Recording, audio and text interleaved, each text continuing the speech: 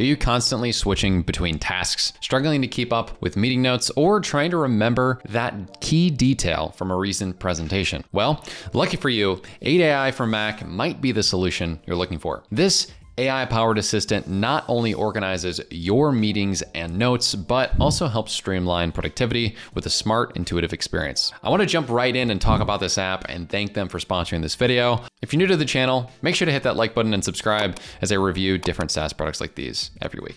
So today we're gonna explore what makes AideAI stand out for the Mac and its users. And by the end of this video, I hope you'll understand that AI like this one can really fit into your workflow and help your productivity needs. So first and foremost, let's talk about why Aide AI is designed to enhance and elevate your personal productivity.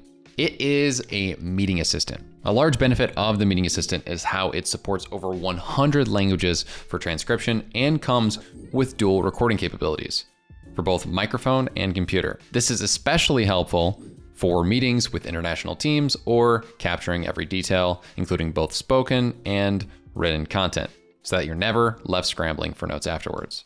You can easily open the meetings option here, and you'll see that I have the ability to press plus, go to my system settings, and allow the product to record. And then after that's done, you'll see that I can simply record what's going on. And during this recording, it's gonna transcribe and screen record what's going on. This is great for every meeting as a lot of people end up getting distracted by writing down notes. And while there is something to be said about the recall of writing something down, some people just don't seem to do that well and they're actually more auditory learners. So when working in a meeting, it's great to have something record and have it as reference as well, because to be honest, I don't really do a great job of engaging with customers unless I'm not writing notes, but actively trying to find ways to respond and collaborate on meetings.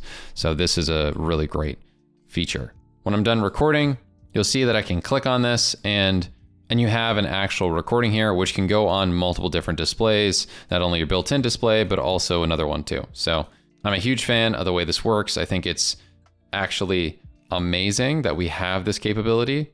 And when it's over, not only does it have the ability to screen record and whatnot, but also you'll actually get a transcription. You'll see that it transcribes it, which you also have the ability to easily share with this right here. And you can actually merge other ones inside of it as well.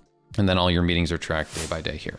What I really like about AideAI is another feature called Recall, and it's the fact that it can act like a personal historian for your workflow. It lets you quickly search and retrieve specific details from previous meetings, documents, and even web pages. This is perfect for tracking down key information when you need it most and saves you from that ridiculous search through disorganized files that most people have to deal with. And you'll see it's basically utilizing the large language model of ChatGPT and at a pricing level, you can choose between the free or the premium. And in free, you get to utilize 3, GPT 3.5 for this. But on premium, you get GPT 4 and you can interact with and analyze the content of your screen directly on your Mac as well. As you can see, there's screen mode on, which is really cool. And if I wanted to, I could ask it, what am I looking at on my web page if I was in the premium version? And it would actually tell me. But besides that, I have the ability to interact with this as I would any other product that has a large language model. And what's really convenient for this is if you go to the meetings and you grab the transcription from any of these, if you think about it, you could always go back and summarize the meeting transcriptions using the AI. And overall, this just works great as a AI assistant on here. So say I need to respond to the email below. Please give me a response to them affirming that we will complete the work ASAP. So this is just an email I got from a client about uh, completing a uh, video edit. As you can see really quickly, gives me a great response. I can tweak it. I can share it by pressing the share button. I can copy it out very easy. I also just want to take a note for this that you also have the ability to just simply press screen capture or audio capture here. So if I press audio capture, this is an option that I think is really cool because all I'm doing essentially is giving you the capabilities of a voice memo and then implementing it into an AI product. So let's stop the audio capture real quick. Let's just open up the product. And you'll see in my story log here, which kind of tracks where I'm at in interacting with it, that The story log shows everything that I've been doing, like the write up for the email or the recording of the meeting. Very cool stuff. And you'll see here that that 10 second recording that I just did for the audio note actually gets captured too and has a transcription that it'll build out as well. And it has a auto detection for language and will make a transcription as well.